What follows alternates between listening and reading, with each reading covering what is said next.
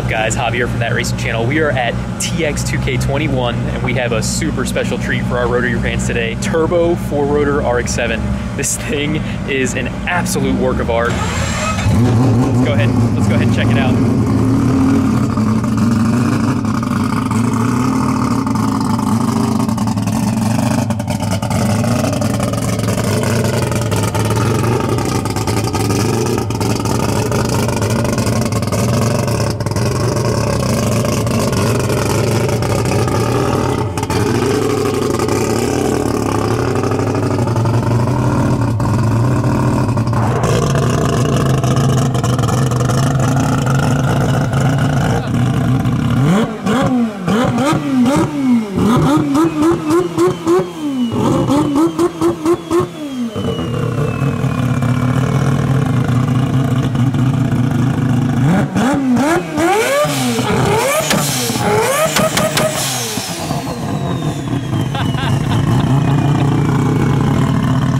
Hell yeah. Dude, guys, that is so fucking sick.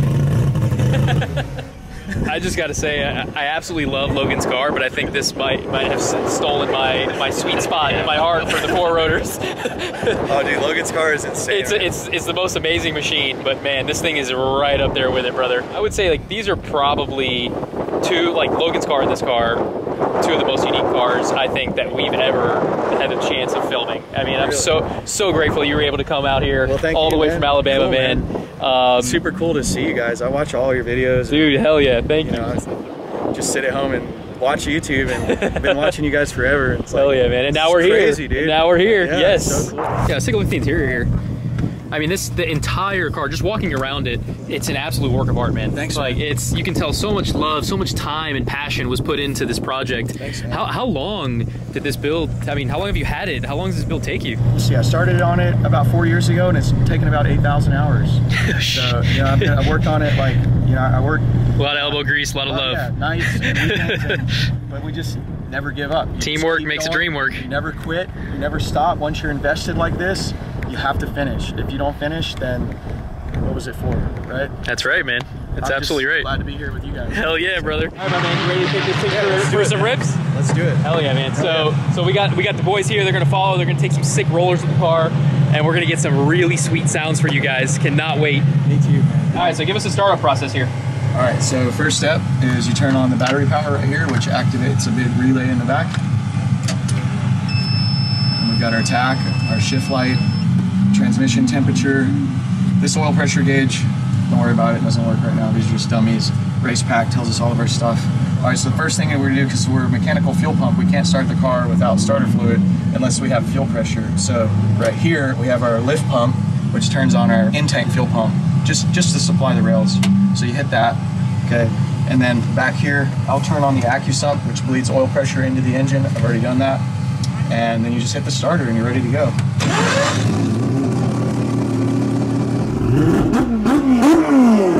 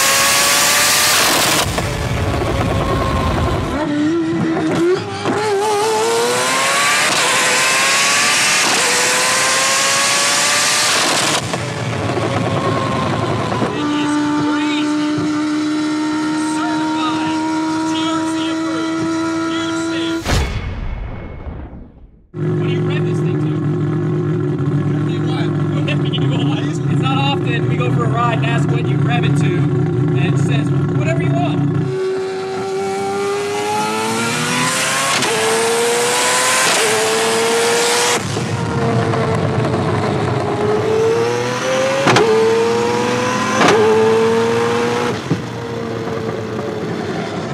Oh dear lord.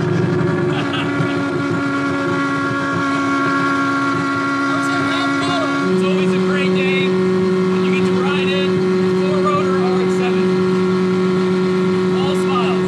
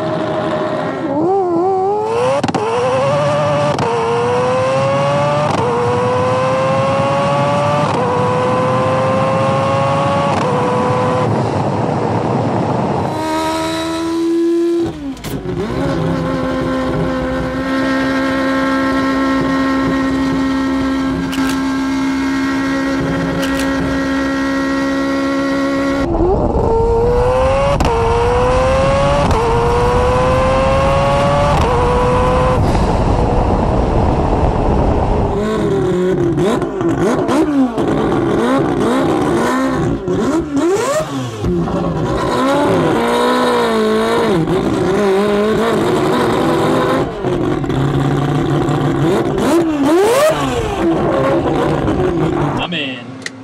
That was fun, dude. Dude, this is without a doubt one of the most wild street cars. I'll say street cars because we just cruised Oh, I forgot to wear this. for about too much excitement. We forgot to put on the, the GoPro head strap, but this is honestly, without a doubt, one of the most wild street cars, man. I can't thank man. you enough, man. This is Thank you, It's man. it's a dream to be able to to film this car, man. We've our whole team is honestly like just completely geeking out over this thing. We've been I know we've been trying to make it over to Alabama to to come to feature this thing, and when I found out you came to TX2K, I couldn't be more excited, man. Dude, it's nice to meet you, Javier. I appreciate yeah. it, man. It was great. There's a massive crowd over here. I guess you can say this thing, uh, the milkshake brings all the boys to the yard because everyone is around this thing. I mean, this is the biggest crowd here. Everyone's here to see this guy. Hey, what's going on?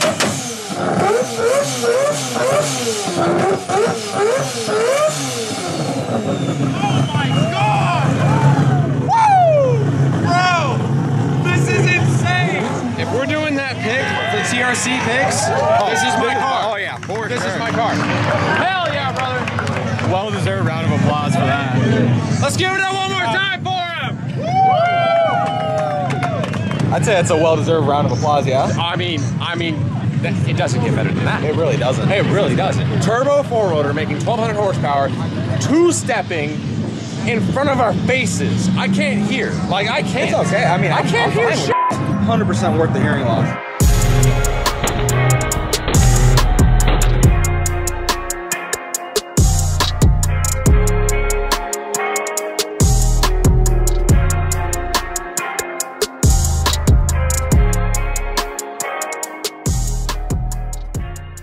Up, guys? My name is David Mazzei, Mazzei Formula. I've got a YouTube channel. Uh, thanks for watching. I'm here with TRC. We're at Texas 2K 2021. This is my first time here. It's a super awesome event. I came down with my buddy Tim Nevins. Been helping me out a lot on the race car, and it's super awesome to be out here and meet everybody, especially the guys from TRC. To be out here and see it in person, this event, it's super awesome, man. So uh, this is my 1993 Mazda RX-7. Started out as an R1 model. It was just a parts car, basically just a roller. It had really no interior or suspension or anything. It was kind of beat up. I sold my three rotor car to build this one. And it was my dream to always do a uh, four rotor because they have the sound of like a Formula One car from the 90s or the early 2000s.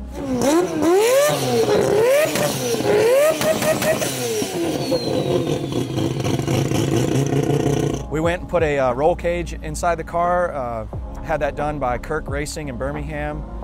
And the next step was to start doing the paint and body work.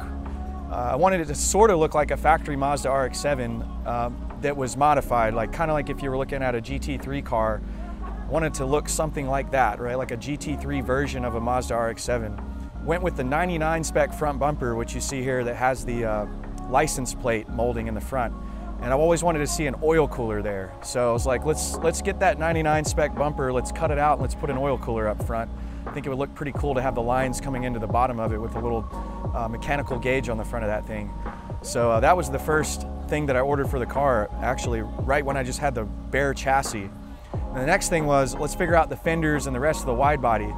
So I kind of pieced together some stuff. I used the wide body front fenders from the Feed kit, which is relatively popular. That came from Shine Auto in California. It's a replica of the Feed fenders. Uh, and then we went with 99 spec tail lights. I really like the look of those. And we went with like a duckbill spoiler on the back of the car. Uh, and then we needed to have some aero, some downforce, because I knew this thing was going to make a lot of power. And the goal was to make it a road race car, you know, something that could do time attack. And so we went the chassis mount spoiler uh, from Battle Aero, which we modified a little bit. and then we did a tubular front end from the shock towers forward. I want to thank my friend JD uh, from Crowworks at the time for doing that because getting in here and trying to fit a four rotor engine, all the cooling components, uh, takes up a lot of space, right? Once we had the chassis stuff dialed in and we, you know, thought about all that, then we started doing the paint and body work. Painted the car myself, got an Amazon car tent, dropped some uh, a tarp over the sides of it, little box fan, and just went to work, man. So everything you see has pretty much been done in the storage unit or with my friends. The engine, the power plant, everybody wants to know about is a four rotor. And that engine came in the Mazda 787B, which was a race car from Mazda that won the 1991 24 Hours Le Mans. You know, Mazda offered the 13B and the 20B, which was the two rotor and the three rotor engine. And those are basically like a four cylinder and a six cylinder counterpart uh, in the rotary world. But the four rotor was something that was really unique. It was only uh, made by Mazda for racing. So it wasn't offered uh, for street use or for, you know, you couldn't buy that engine for private use. And so people have been making them, putting them in street cars by making them themselves. And so we started with a shop from New Zealand and got the crankshaft and the engine from there. You know, it was a lot of research and development, a lot of trial and error. So the first version of the engine didn't really work out right. Uh, after we did some testing and tuning on that, had some issues, uh, we decided to tear it down and really get in detail with it. So I took the engine and the crankshaft to uh, Chip Ursu, Zachariah and Clint Richardson up north, uh, Indiana and Detroit. And they looked at the engine and we figured out how to get the peripheral ports to not leak. We did O-ringed inserts. Uh, we fixed the crank angles to get them perfect on the crankshaft, remachined the keyways, a whole bunch of cool stuff to get the engine set up right. Went with the Goopy Apex seals, uh, really took a fine look at all the engineering. You know, basically went through the motor and set it up to where we'd be 100% sure this thing would run right and reliable on the street. And the biggest thing about this motor that makes it different from uh, all the other, you know, 13Bs and 20Bs is this four rotor is a full peripheral port. Now, sometimes you'll see that in a 13B and a 20B, but it's pretty rare. It's usually on an NA car and a peripheral port is uh, similar to having a really long duration, high overlap camshaft that you'd see on a naturally aspirated motor.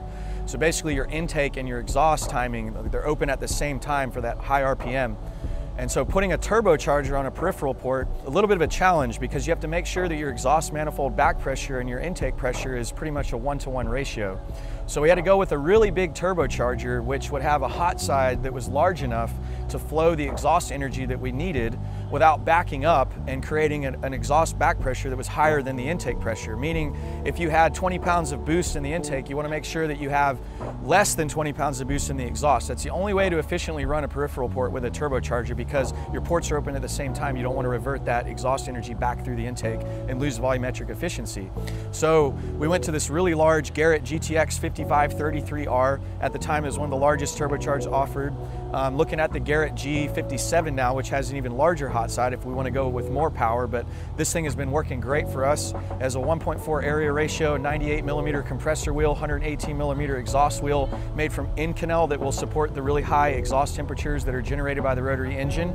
And then so after we pick out the turbocharger, then we have to make an exhaust manifold that complements that. The exhaust manifold design was really tricky. We've actually been through three exhaust manifolds on this car. Actually, everything you see the, on this car has about two or three iterations. So we've done done two fuel systems, two exhaust systems, three manifolds, two different turbos. And so we had to make a manifold that would work with this turbocharger and this setup uh, to give us the performance that we want, the sound that we want, the, uh, the horsepower that we're looking for, and would be able to handle the heat. You know, after doing two exhaust manifold designs, um, I went and spoke with this guy, Carlos Lopez, super awesome man. Um, he's actually has cancer right now, so you know prayers go out to him. He's a real inspiration, uh, hero to me.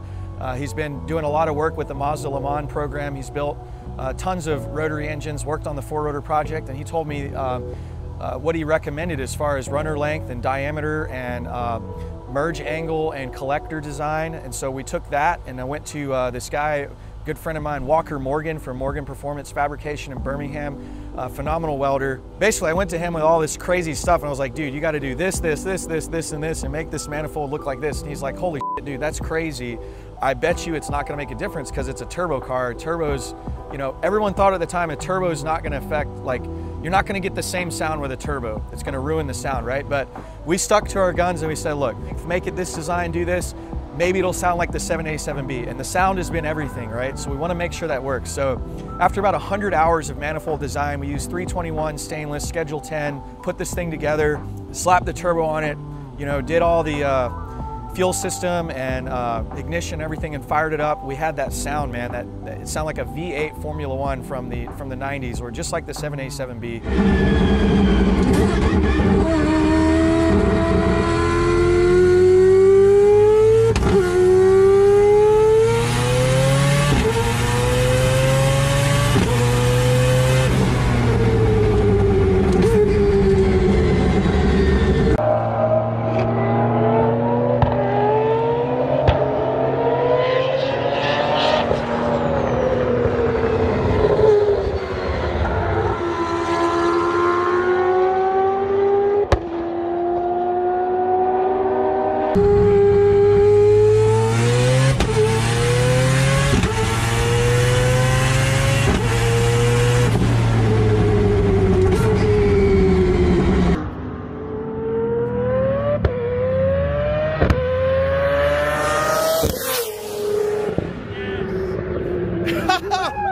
Holy shit. Holy shit.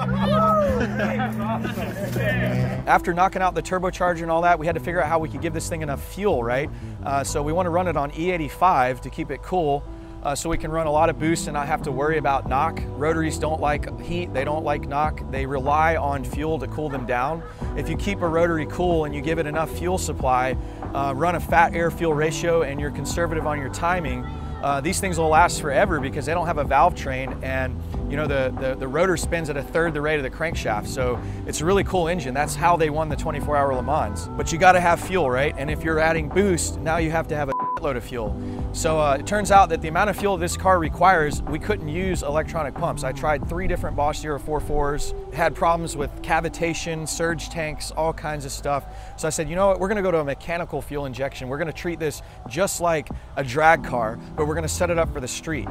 And so what we did was ended up going with a uh, external mechanical fuel pump from Weldon and I mounted that fuel pump on a, uh, a, sump that was welded to the bottom of the tank and then I drive that fuel pump with a mechanical cable drive. The cable drive runs all the way through the chassis underneath the car, sort of like a speedo cable inside a sheath, and that connects to the back of the oil pump. I run an external oil pump, and that oil pump has been machined with a hex flange on the back side of it, which will drive that cable, which then spins the fuel pump. So basically when the car is running, as long as it has oil pressure and the oil pump is being driven by the belt from the crankshaft, you have fuel pressure and, and fuel flow along with that. And the more RPMs that you rev the motor, the more fuel pressure you have. And so what that allows us to do is drive the injectors at a really high fuel pressure and not have to worry about flow rates dropping off like what would happen on traditional electronic pumps. And we also don't need a significant amount of amperage from the alternator. And so I can't tell you exactly what our setup is altogether, but I can tell you we run a lot of base pressure fuel, which gives us an incredible atomization. So on a peripheral port engine, again, when you only have four runners instead of eight, uh, and the runners are so large, you have low intake port velocity because it's such a large intake runner. And with that low intake velocity, uh, you're sitting there in vacuum, and when you crack the throttle plate open, that fuel falls out of suspension, and you have uh, a moment where you have to make up for that drop of fuel uh, in, in your transient in your transient fueling. And so by having a lot of fuel pressure, we can hit it with incredible transient fuel response settings in the ECU and, and be able to drive the car really crisp and clean without having to have ITBs or get very complicated with the setup. So I think that's one of the greatest things that we have on the car, that mechanical fuel pump. Um, it's been very reliable. And so the way we start the car, you'll see most guys drag cars, they'll use uh, starter fluid. They'll spray it into the compressor wheel, the, uh, the turbocharger, open the throttle and spray it in to get the car to fire up because obviously you're not building fuel pressure until the car is running because you have to have the crankshaft turning to make the pressure, right? Well, I wanted this thing to be able to start and drive and pull it out of your driveway and go to McDonald's if you want to. So what we did was we used the stock in-tank fuel pump, which is just, you know, 200 liters per hour or whatever, and I tee it in line to the fuel pressure regulator and I set it up on a momentary switch so the stock fuel pump starts the car, and then as soon as the car is running, there's a backflow valve that prevents the uh, main fuel system from feeding back into the tank and you know, once the engine's running, the mechanical fuel's taken over and then that feeds the engine from there on.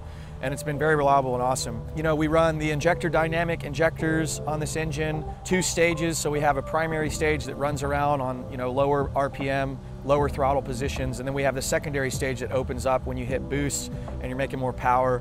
Um, then looking at the ECU, uh, we went with the Haltech Elite 2500. I think it's been a very reliable platform. I enjoy tuning on that computer. I uh, I like the VE tuning of that software. Uh, it's been very repeatable on different cars. I like the way that the transient throttle settings work. I've been able to do some fancy things. Transient throttle and getting a peripheral port tuned is very difficult, and this ECU has allowed me to be able to do it with the options that I have with the transient, transient fueling, and also the flex fuel capabilities of using the E85 and being able to run gasoline as well.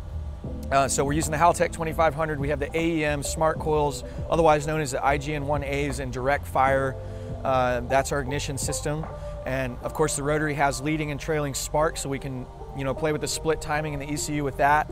Uh, and I use the factory crank trigger. I don't see any problems with it until you're running lots of boost and you have to worry about trigger walk.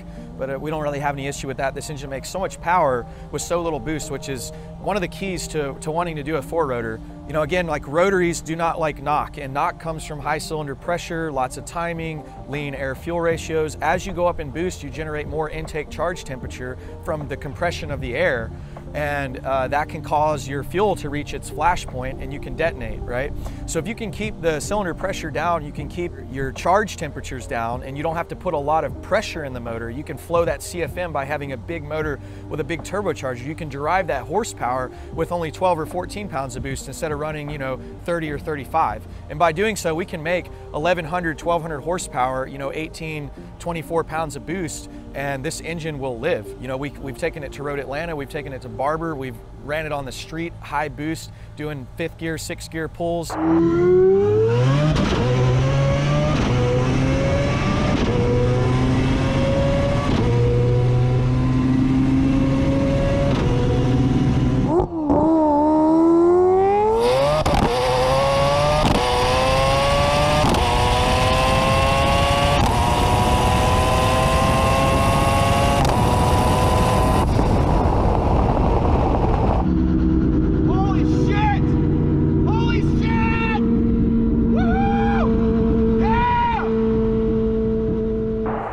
Happy with the way this motor runs and with the ECU especially. Um, and so, you know, moving on to the drivetrain, originally started out with a stock transmission. You know, you have to start out and you have to get everything else that's important running first. You know, we use the stock transmission. I remember people saying, oh, you're gonna break it. Why would you do that? It's underpowered. I mean, the car's overpowered for the trans. You know, I had a stock differential and all that at the time too, but it was all about development, all about figuring out, you know, priority first. You know, what's the most important part of the puzzle? Getting the engine working, right? Once you figure out the tuning, get the engine working, then you invest in the other pieces of the puzzle, right? So after we had the stock transmission, we put a gear set in it, which was quite expensive. We thought it was gonna work out, but you know, we get out to Auto Club Speedway, first lap out. My buddy Brian's driving the car. He's following the 787B, which was a dream come true, super cool.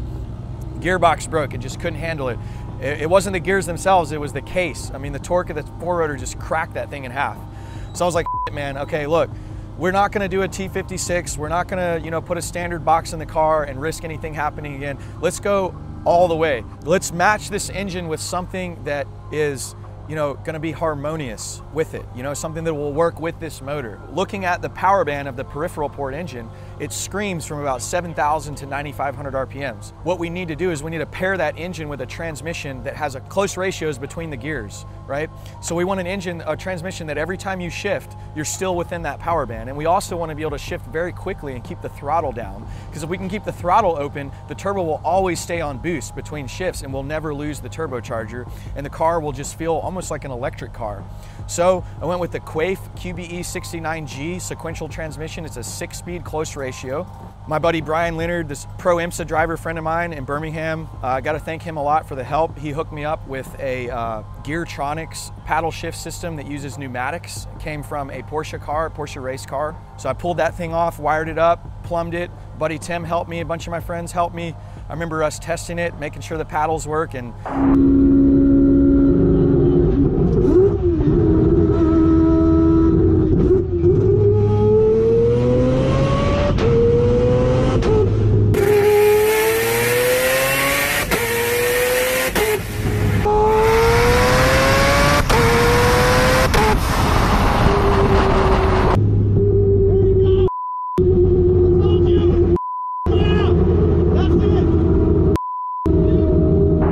basically I rigged it up because I wanted to have the mechanical actuation of being able to pull the lever and shift the transmission, you know, just in case we're in a bind, we don't have air pressure, we're trying to get it on and off the trailer. So if you want, you can shift the car with your hand, um, but also if you want to go crazy, you can pull the paddle. And when you pull the paddle, what happens is the uh, air compressor behind the driver's seat uh, fires up and it charges up a tank behind the passenger seat, which then sends pressurized air uh, through a solenoid system, which is tied into this gear control unit, which uh, actuates the ECU to do a spark cut.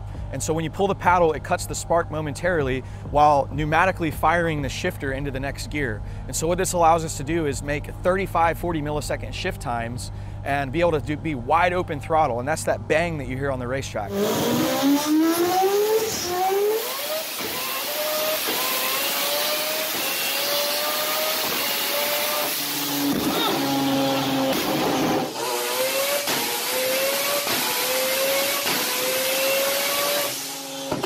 That backfire loud bang you hear is basically uh, the spark being cut and coming back on. You're hearing the fuel dump into the hot exhaust and you hear that backfire, that loud pop.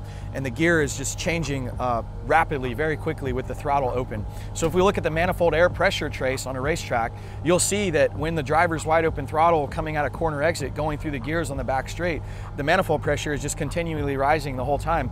And if anything, it, it, it bumps up between shifts. So every time you grab that paddle, it just gets faster and faster and faster. And very happy with the Quaife transmission. I'm using a spec triple plate clutch. Uh, I want to thank Spec, they've helped out a lot. Uh, I've been to SEMA with them uh, last year. Uh, the Spec clutch triple plate has done really well in this car um, that allows us to drive the car without gripping too hard, but also can handle the power and the heat of being slipped is, uh, is very crucial in making a peripheral port drivable. So, you know, thanks to all those guys that helped out. Some other things about the car, uh, you know, a lot of people ask, what's this huge ass scoop on the back? Um, yeah, I mean, it's kind of not the most amazing looking thing. It is, I think it looks kind of cartoonish, but cool at the same time.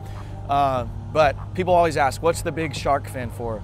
Okay, so that comes off an NSX JD, GTC race car, which is a race car back from the 90s that used to race in uh, you know, circuit racing in Japan and stuff. And I thought it was a killer looking scoop. It kind of looks like the Formula One scoops. And the reason for that is we have to cool down the intake for the motor. But what we have going on here is an integrated water to air intake manifold.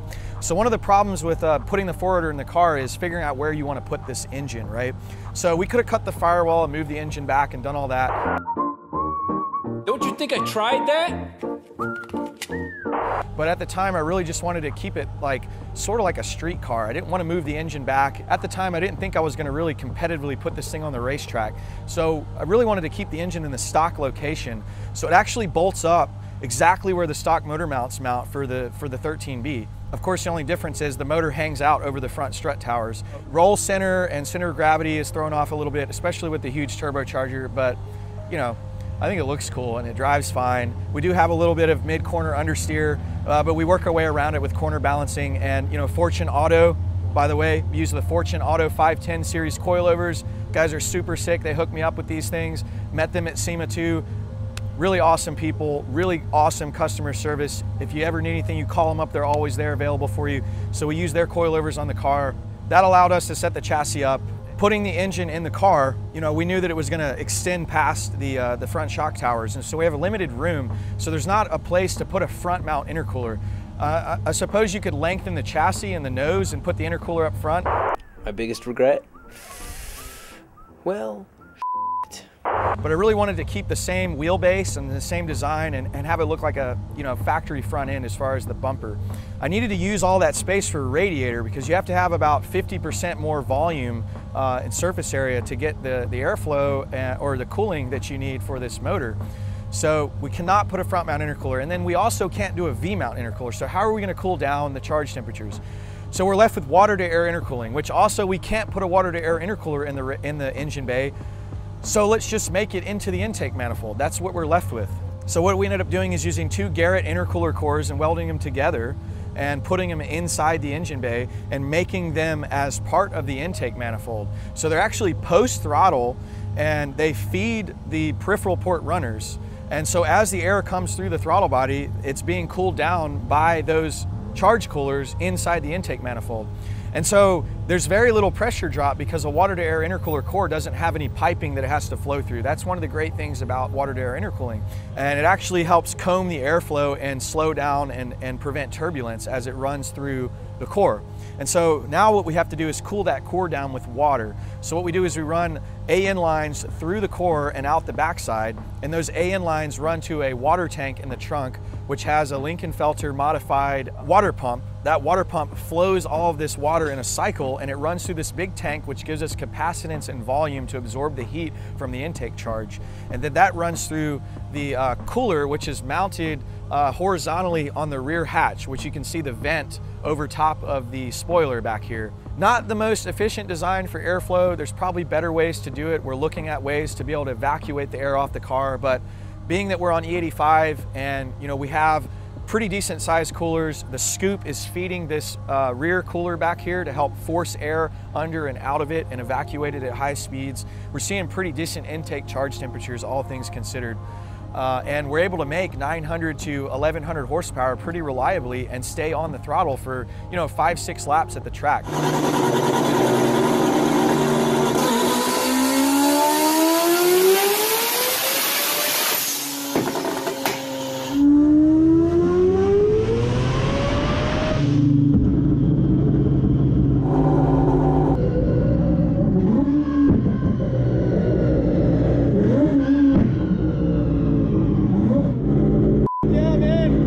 Obviously, this isn't an endurance race car, and it's really not built for any competitive purpose. For me, it's mainly just a prototype. It's to learn and develop and understand how and what this engine needs, how the tuning works, how it behaves, make the sounds we want to make.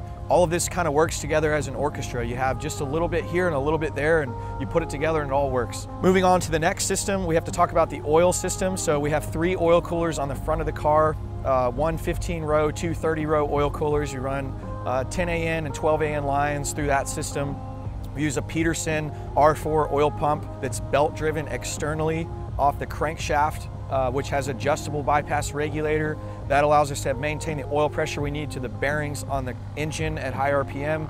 I've got a custom front splitter Uh, it's made out of wood. You know, a lot of people laughed at it at SEMA. They go, why does this dude have a wood splitter? Well, if you want to take a carbon fiber splitter and scrape it on a speed bump and pay $6,000, be my guest. But uh, the wood works great, man. I've already replaced it three times.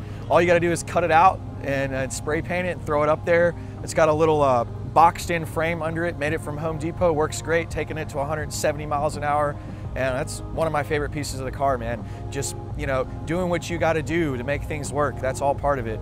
Uh, it was really important to me to have wheels that kind of look period specific to the car. The wheels that we have on our Work Meister three-piece wheels, you know, we did custom barrels to get the offsets exactly where we wanted it. We're using the Toyo Racing Slicks. I want to thank Toyo a lot for sending these things. These things hook so hard that I keep them on the car on the street. I've used others R compound tires, but man, I'll tell you what, just it's probably not ideal, it's probably not recommended, but running the full racing slicks on the street, it's the only thing I can get to hook up on the car. And they do have a stiff sidewall. These are not drag radials, but you know, they do function well on the racetrack and off the racetrack. So when you see me ripping around in the videos, that's what we're using. You know, we started out with the stock brakes, which was not ideal. We went to Road Atlanta, we were at like 150 miles an hour coming down the back straight. It just could not handle the heat and we were starting to boil the fluid. So moved to the Brembo uh, four piston front and rear. We sized the piston size on the calipers to work well with the front rear weight distribution of the car and uh, moved away from the brake booster and went to, to this custom unit under the hood that we call a uh, brake bias unit, right? So basically we have two master cylinders, one for the front of the car, one for the rear, and we have a bias bar that runs between both master cylinders, which the pedal is connected to. And so what that allows us to do is we can go inside the car and we can adjust the brake bias using the Tilton uh, knob in the car, which mechanically uh, changes the angle at which the pedal applies to one master cylinder versus the other. And so by doing this, we have uh, safeguards in case we lose uh, let's say we boil the brake pressure and the pedal gets spongy and it's hard to stop the car. Well, you're, you're more likely, if, if you have two separate systems, let's say you boil the front system, well, you still have the rear. Also, what this allows us to do is dial in the bias uh, incrementally and with perfection so that we don't lock the front wheels before the rears or vice versa. And also by using a manual braking system and getting the pedal ratio right, which again, I want to thank Brian Leonard and Chase McMaster for helping me set that up. Getting the pedal ratio right and having a manual braking system is ideal, I think for both a, both a street car and a track car, uh, mainly because of the resolution that you have behind your foot.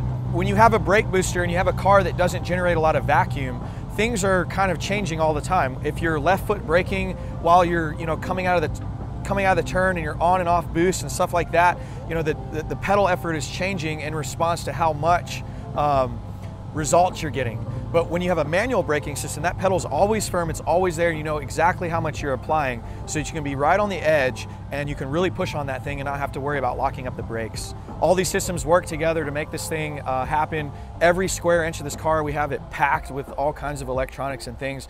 That's the only thing, there's just so limited real estate on the car for putting coolers. We've got three oil coolers, we've got you know, a radiator, we've got water to air intercoolers, we've got uh, transmission cooler. If you look on the back bumper, we have a transmission cooler for the gearbox. We have a fuel cooler that cools the return flow. There's a whole lot tied into the project, um, but I'm super excited. I've been working on this thing for about three to four years. Uh, tons of friends and family to thank, man. If, I mean, there's just, there's so many people that have participated, rotary guys all across the world. When you build a car, I mean, I think it's all about, you know, uh, first you have to like go out there and see what exists and what makes you excited. And so you know, you, got to take inspirations um, from the industry, the people that are out there doing it. And one of my favorite cars, one of my first inspirations uh, behind the four rotor and the three rotor projects, back when I had a 13B way back in the day, um, was Logan Carswell with Define Auto Works. He's one of my favorites, man. I remember him doing a three rotor RX-7 wide body ITB crazy monster NA race car. And then he built this really sick NA four rotor um, that is just absolutely incredible. The TRC guys covered it. Make sure you watch the video. I rode in the car. He brought it down to Birmingham.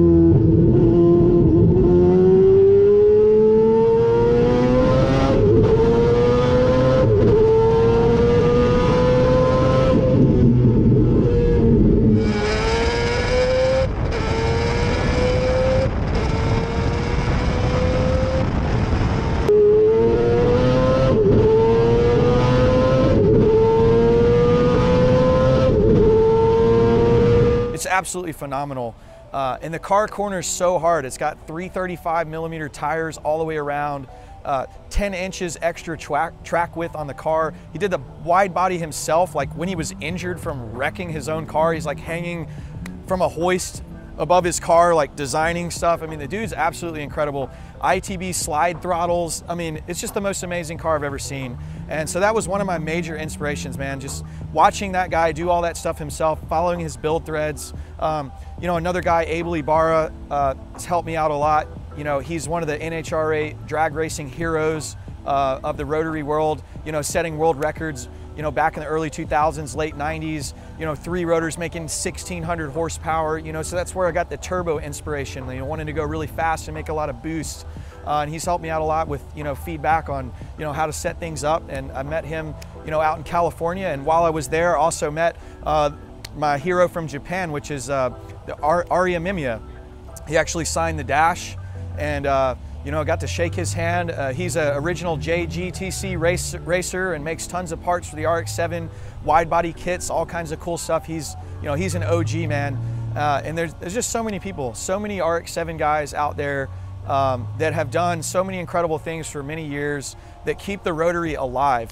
It's just great. It's, it's just so great to know all these people, get to meet them through this car, you know, from, you know, just seeing them on the internet and following them, never met them, never talked to them, and then you know, after three or four years of building the project and going different places, and you're like, holy crap, I'm riding in this car that I saw on the internet for years. Uh, and, and that's the best part about it, man. It's just, it's meeting the people that you just always dreamed about doing what they did and having them be like, dude, you know, let's talk about how you did this and let me talk about, like, let me ask you how you did this and go to dinner together and then ride in each other's cars. I mean, just, I can't think of anything better. You've seen this car ripping and stuff, but let me tell you what, there's another awesome car, four rotor out here too. He's right behind me. Stay tuned. You guys got to see this thing. Uh, we're working out some bugs on it right now. Again, you know how much of a process it is. You've heard about it. This guy's built this car in like a year, so he's still got some work to do on it. But I'll tell you what, it's coming along. It runs, it drives. We made 800 horsepower on it in Texas uh, a few weeks ago, and we're turning up the boost some more. It's a full billet engine four rotor peripheral port again, twin turbo, uh, and it's all wheel drive, right? And it's got a Lamborghini Graziano transaxle with a torque tube, custom torque tube. I mean, this thing is incredible. So uh, the guy did all the body work himself, did all the fabrication work himself. His name is Todd, super cool guy. Just met him uh, a few weeks ago and uh, hoping to help him tune the car together and uh, check it out, man, because it's gonna be sick when this thing is ripping you know, it's just been a it's been a labor of love, man. Just every step of the way, just trying to solve problems, stay positive, stay focused, and focus on the goal, which was this car is for the experience, for the driver and the, the, the passenger experience, or for the people that are listening uh, because it just, why do we, to me, it's like, why do we go racing? Why do we like race cars? And to me, it's about the overall experience, the excitement, like, and, and that experience ties into all of your senses. It's not just, you know, being pushed back into the seat. It's also the sound. It's also the emotion. It's also the fear, right? So we don't need windows, right? And we don't want power steering and air conditioning and electric, you know, brakes and all these creature comforts. We want this thing to be raw. And, you know, when I get in this car, I want to hear it, I want to smell it, I want to feel it. I want it to scare the shit out of me. And whoever drives it, I want them to understand that, you know, uh, it's going to drive you. You know, and so when you give it throttle, it's going to go and you're going to have snap oversteer. You're going to have to wrestle it. It has manual steering. You cannot take a turn uh, at the racetrack without both hands on the steering wheel. And that's what it's all about, man. Hearing that gearbox change gears, hearing those bangs, hearing that transmission scream, hearing the wastegates open up and, you know, throw 110 decibels of sound out of the hood with fireballs. That's what it's all about, man. The overall experience, the adrenaline that you feel from it. And there's not a time that it, there's never a time that I start this car, even when I'm diagnosing it, even when something's screwed up, when I hear this engine run, it just, uh, it just makes me smile, man. And I'm just so thankful for the people that have done it before me and the machinists that are out there, the people that have advanced the industry and, and all the technology that exists today to be able to do this and we can't wait to do more, man. So I want to thank TRC for covering my car. Super awesome opportunity to be able to put this thing out here on the internet. Uh, thank all you guys for watching the Mazzei Formula channel. Please subscribe to TRC. Please subscribe to my channel too. I'm going to be trying to put up more videos, uh, doing things with my friends. You know, we're going to be going to the racetrack. We're going to be doing all kinds of cool stuff. I got friends that are into drifting, uh, friends that are into racing, you know, road racing. So check us out, man. And uh, thanks a lot for watching my video, man. Appreciate it.